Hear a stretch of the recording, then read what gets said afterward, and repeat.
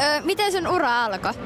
No mä tulin politiikkaan aika nuorena jo silleen, että mä opiskelin Turun yliopistossa ja sitten mä menin ylioppilaskunnassa opiskelijapolitiikkaan mukaan ja sitten sieltä päädyin sitten kansanedustajaksi sitten, kun olin ensiksi kuntavaaleissa ja eduskuntavaaleissa ehdokkaana. Mutta mulla on myös, mä oon ollut töissä tutkijana yliopistolla, mä oon tutkinut Suomen ulkopolitiikkaa sitä ennen. Okei, okay, öö, mihin asioihin sä haluaisit niinku vaikuttaa? No mä haluaisin vaikuttaa siihen, että tämä yhteiskunta olisi niin kuin reilumpi kaikille ihmisille, että kaikki ihmisiä kohdeltaisiin yhdenvertaisesti ja kaikilla olisi tilaa pärjätä ja tehdä työtä ja elää hyvää elämää. Ja sitten mä haluaisin pitää huolta luonnosta ja eläimistä ja siitä, että ihmiskunta ei tuhoa ympäristöä. Että tota, tämmöiset pienet asiat on ne mun tärkeimmät asiat. Mahtavaa, toi kuulostaa oikeasti hyvältä.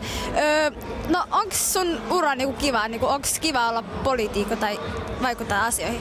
No mä oon ollut vihreiden puheenjohtajana nyt viisi ja puoli vuotta, se on aika pitkä aika. Mä lopetan puolen vuoden päästä ää, siinä hommassa, niin sanotaan, että se on aika rankkaa välillä, että, että joskus kun puhuu ihmisoikeuksien puolesta, niin sitten tulee ihmisiä, jotka antaa hirveän ilkeätä palautetta, jotka, jotka, jotka tuolla sosiaalisessa mediassa ää, tota, purkaa sitä omaa huonoa pahaoloaan sitten toisiin ihmisiin, mutta siihen on vaan tottunut, että poliitikkona niin siltikin pitää jaksaa käydä sitä vuoropuhelua ja osoittaa, että tämä maa on paras kaikille, kun kaikilla ihmisillä on tilaa pärjätä ja tehdä, tehdä elää hyvää elämää. Ja kyllä mä sanoisin kuitenkin, että, että mä oon tosi innoissaan siitä, että mä oon voinut tehdä politiikkaa ja olla vihreinen puheenjohtajana. Että sitä on semmoinen olo, että on voinut tehdä monia asioita edes vähän paremmaksi.